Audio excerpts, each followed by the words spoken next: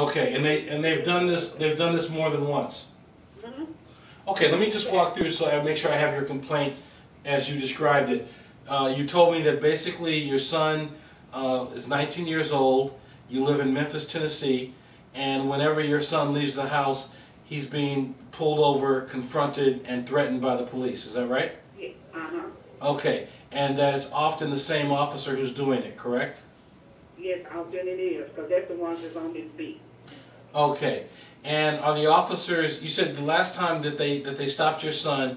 Describe that incident again. Tell me what happened that was so offensive to you. They told you to leave, correct? Tell me what they said to you, and use the use the exact language that the officers used.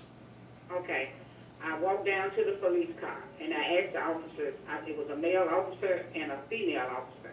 I asked the male officer, I said, what has my son done? And he was very polite. He told me, he said, your son hasn't done anything. We're just checking him out right now. At that moment, the uh, female officer jumped out of her car and she was right in the back of me because I was talking to him. And she jumped out the car and and she told me, she said, this is not none of your concern right now. I said, yes, it is my concern because that's my son.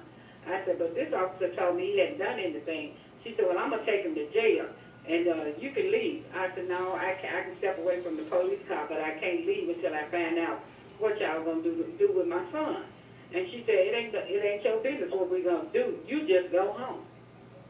You know, and I thought that was real rude, you know, because she could have talked to me because, you know, I'm 56 years old and I got respect for the police officer. Right. And she could have respect for me because I am a taxpaying citizen. Do you did you did you get the officer's name? The one that the female officer who said that? No, I didn't get her name, but what happened when I called the lieutenant, the lieutenant Paris, he found out who they were. And he Mm-hmm. said that she was off of her beat. She wasn't supposed to be over here.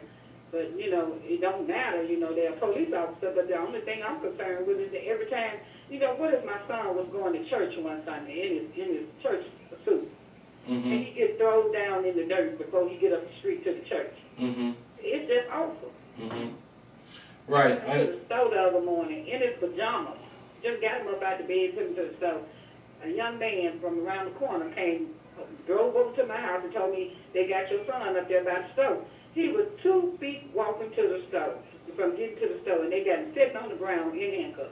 And what are they what are they asking him when they pull him over like that? Do they have particular questions, or is it just kind of a general shakedown?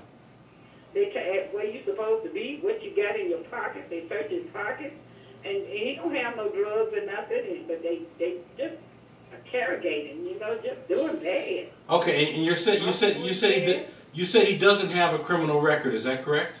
He ain't never even been on the inside of the jailhouse. Okay. He done been in the police car a hundred times.